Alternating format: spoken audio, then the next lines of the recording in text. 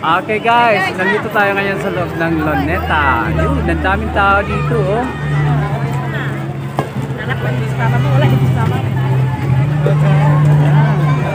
Napakaganda pala talaga dito guys. So, daming na nunood dito. Tara, doon tayo sa dulo.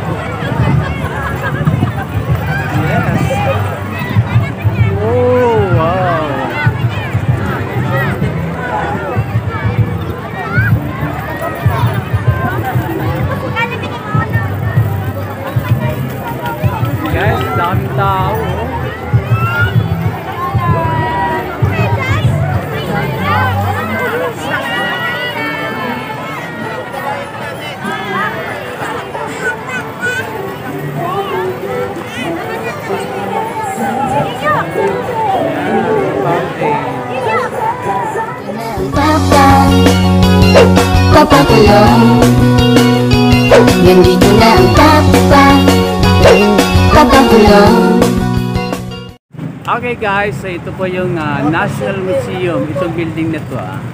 Yan, kita-kita po naman natin pati yung mga bato na parang galing yata yun sa ah, Mayon Volcano. Yan, sa Albay.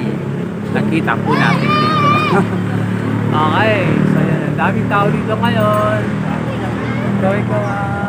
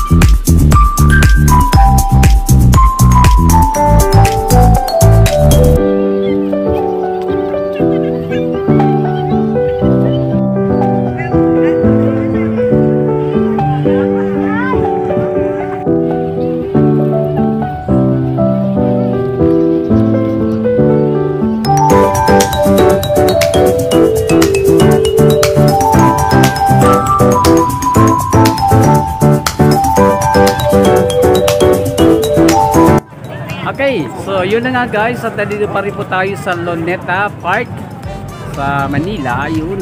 At uh, kita-kita naman natin na napakarami pong taong nakatambay dito po naman sa Loneta ngayong araw ng Pasko.